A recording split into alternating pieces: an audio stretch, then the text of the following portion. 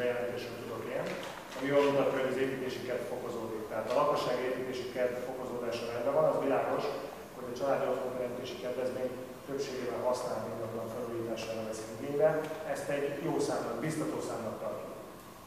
És az első fél év tapasztalatai alapján tervez a változtatás a kormány? ö, Nem, mert megvárjuk az első évben a tapasztalatokat. Fél év tapasztalata még kevés. Most jelen pillanatban 6000, í- ö, 6000 néhány száz családi otthonteremtési kedvezményt utaltak ki, és kb. 10 ezer vár elbírálással, én számolja az épításom szerint.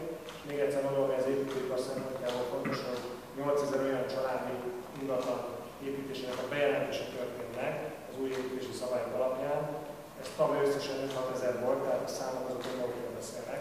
A könnyített, egyszerűsített építési bürokráciát igénybe veszik, és nyilvánvaló, hogy lesz, lesznek építkezések, de az második. Így is kalkuláltunk vele. Tehát nagy riportot decemberben fogunk csinálni. Előző kormány